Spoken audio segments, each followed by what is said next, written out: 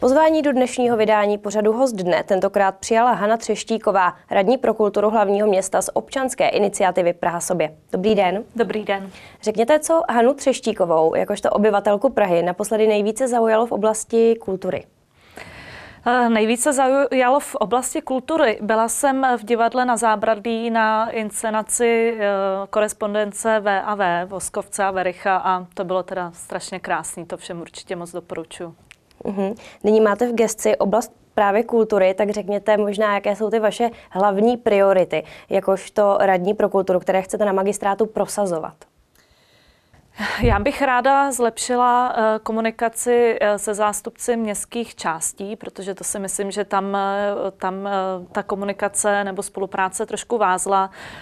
My samozřejmě na magistrátu můžeme mít spousta nápadů, jak rozvíjet kulturu v Praze, ale nemůže to být bez spolupráce s městskými částmi a jejich, jejich, jejich reprezentací. A kromě toho na čem pracujeme, je i nějaký jakoby ztransparentnění dotačního e, nebo grantového systému, individuálních dotací. Rádi bychom rozvinuli kultury mimo centrum města, aby, aby prostě se dobře kulturně žilo i i na, v okrajových částech. Nicméně většina těch divadel se přeci jenom nachází v centru, tak jakýma formama možná dostat tedy tu kulturu na okraj Prahy? Eh, tak tam je to spíš o různých kulturních domech eh, nebo i komunitních akcí. Ehm, jako samozřejmě máte pravdu v tom, že většina zrovna divadel kamenných je eh, v Praze 1 nebo v Praze 2, ale existuje spousta i třeba menších galerií nebo kulturních center, které jsou mimo, mimo mhm. centrum a na ty bychom se rádi zaměřili. Chcete také změnit vyhlášku o pouličním umění, takzvaném baskingu. Tak co by se tedy podle vás mělo změnit a proč? Tak to je velké téma, na kterém právě začínáme pracovat. Ehm, my si myslíme, že eh, centrum Prahy by si zasloužilo eh, eh, jakýsi kultivovaný přístup a my nemáme nic proti hudebníkům, kteří předvádějí svoje umění zadarmo v ulicích a vybírají do košíku. To samozřejmě je něco, co funguje všude po velkých městech a rozhodně to nechceme nějak zakazovat. Co nám vadí je ty, ty, kteří si basking vykládají po svém a... Kteří to jsou? No, tak takový jakoby zářný příklad toho, co si myslíme, že by se v centru města nemělo dít, eh, jsou různý nafukovací pandy nebo lední medvědi, v kterých teda stojí nějaký člověk a, a nechává turisty se vyfotit ehm, s tou obludou a je to uprostřed eh, staroměstského náměstí. To si myslím, že je opravdu nevhodné vlastně do historického centra Eh, tahat takovéhle figurky téměř eh, až eh, nějaký Disneyovský nebo z Disneylandu. Uhum. Když jsme ještě u těch turistických atrakcí, tak co říkáte na taková ta pivní vozítka, která jezdí především v historickém centru? To další jev, s kterým se potřebujeme nějak popasovat. Já vím, že kolegové z odboru dopravy už to řeší, protože to je spíš teda na nich eh, vymyslet, jakým způsobem se s tímhle jevem eh, vyrovnat, protože eh, to jednak to různě jakoby škodí tomu provozu, že se vytvářejí kolony, a, ale zároveň prostě oni ty vozítka třeba jezdí i po parcích, kde si představíte skupinu opilých eh, turistů, který tam téměř padají z toho vozítka, tak eh, potřebujeme s tím něco udělat. Mm-hmm. Mnoho Pražanů se také stěžuje na noční život který je spjatý s turisty především v ulicích, jako je Dlouhá a podobně, tak vy jste proto zřídili funkci nočního starosty. Řekněte, jak konkrétně tedy on tu situaci může zlepšit a kdo vlastně tuto funkci vykonává? Kdo je noční starosta nový pražský? Uh, noční starosta to je projekt, uh, s kterým jsme se inspirovali v zahraničí. Není to nic, co bychom vymysleli.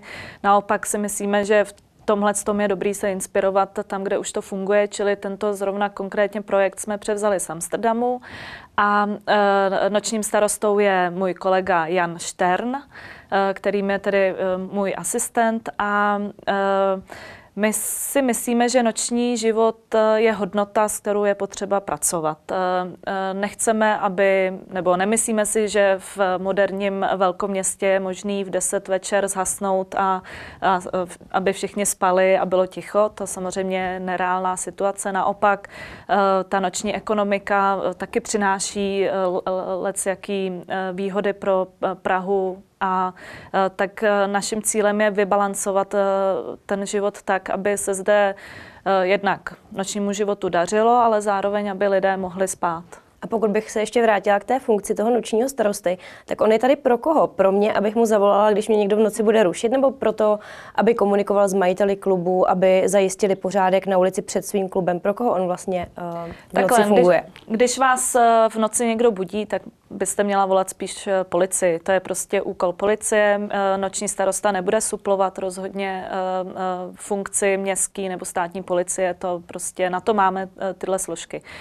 Noční starosta je koordinátor, který právě by měl k jednomu stolu, stolu přivést všechny aktéry, kteří mají svý zájmy a který je potřeba sladit. Jsou to zástupci jak nočních klubů a barů, tak ale i klidně kulturních institucí, které provozují svoje, svoje programy po večerech tak eh, zástupce právě policie, v neposlední řadě eh, zástupci městských částí, tam, kde ten noční život je nejvíc eh, jako rušivý. Uh-huh. Další velké téma, slovanská epopej. Praha nabídla její dočasný návrat do Moravského Krumlova, tak řekněte, proč jste se tak rozhodli? Já jsem i hned po volbách se za mnou objednal starosta Moravského Krumlova, který mi nastínil situaci, že o, o Epopej velice stojí a že uh, tam mají prostory, kde původně Epopej byla. A my jsme se domluvili, že uh, pokud uh, město Moravský Krumlov sežené uh, peníze na to, aby v těch prostorách byly jak vhodné klimatické podmínky, tak bylo to dobře zabezpečený a dobře osvětlené prostě technicky, aby to vyhovovalo, tak eh, pokud všechno eh, takhle udělají nebo splnějí podmínky, které jsme si jasně eh, řekli, tak mu tak jim Epopej na pět let zapůjčíme. Teďka tedy Moravský Krumlov schání peníze, má, má čas do dubna a pokud peníze sežené a opravdu ty prostory s rekonstruujou nebo připraví pro Epopej, tak nevidím důvod, proč tam Epopej nepůjčit. A pokud by se za pět let epopej vrátila, tak už máte tip, kam by Praha mohla tady umístit? Mluvilo se například o lapidáriu na výstavišti.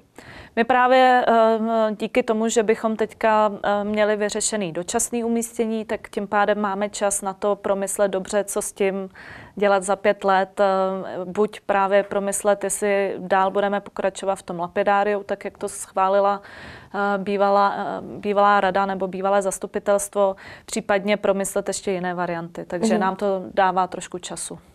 Ještě se zeptám, jaký je plán rozvoje. Jsme mluvili o výstavišti, tak možná Holešovické tržnice, protože o té se také hodně mluví. Mluvilo se také o nutnosti vzniku funkce nějakého koordinátora tam toho prostředí. Tak jak to tam vypadá? Holešovická tržnice je jednou z našich priorit, eh, protože eh, cítíme, že tržnice má ohromný potenciál eh, nabídnout Pražanům zajímavý mix kultury, gastronomie, ale i třeba obchodu samozřejmě. My tam chceme zachovat to farmářské tržiště v Hale 22, který je velice oblíbený mezi Pražany. Zároveň chceme zachovat stávající kulturní nabídku. Jsou tam Jatka 78, Trafogalery, případně tu kulturní nabídku rozšířit a naopak pak eh, tam ještě třeba jakoby dotáhnout zajímavé projekty.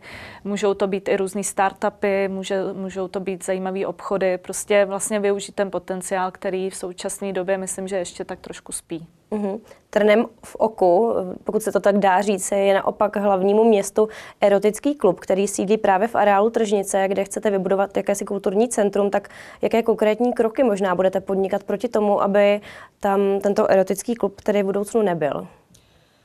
Klíč k tomu má um, uh, soud v tuto chvíli, protože tam, je, tam se vede dlouhodobý soudní spor s bývalým správcem uh, Holešovické tržnice. My jsme doufali, že na jaře soud už rozhodne. Teď jsme dostali nějak informaci, že snad došlo k odročení, čili tam netrpělivě čekáme, kdy konečně skončí soudní spor a pak můžeme i hned zahájit kroky k tomu, aby se nevěstinec z té haly odstěhoval. Mm-hmm. Ještě otázka na závěr. Vy se dlouhodobě pohybujete i ve filmovém prostředí. Teď v březnu bude mít premiéru váš časozběrný dokument eh, Manželské etidy Nová generace. Tak řekněte, možná máte roztočeného třeba něco dalšího a dá se vůbec skloubit to filmování s tou pražskou politikou? Je to velice náročné, eh, nebudu lhát, že ne, mám hodně co dělat. Eh, to eh, je taková náhoda, že vlastně to vzniklo, nebo že, že teď mi jde film do kin zrovna ve chvíli, kdy jsem tedy ve funkci radní, protože já jsem ten film točila sedm let a rozhodně před sedmi lety jsem si to takhle nenaplánovala. Nicméně já jsem ráda, že jsem to dotáhla ke zdárnému konci, že to bude v distribuci a v české televizi nic nového, ale nemám sílu začínat. Takže eh, spíš, spíš se teďka budu věnovat politice a až skončí moje angažma v politice, tak eh, rozjedu zase filmařinu. Říká Hana Třeštíková, radní pro kulturu. Děkuji, že jste přišla. Děkuji za pozvání. Naschledanou.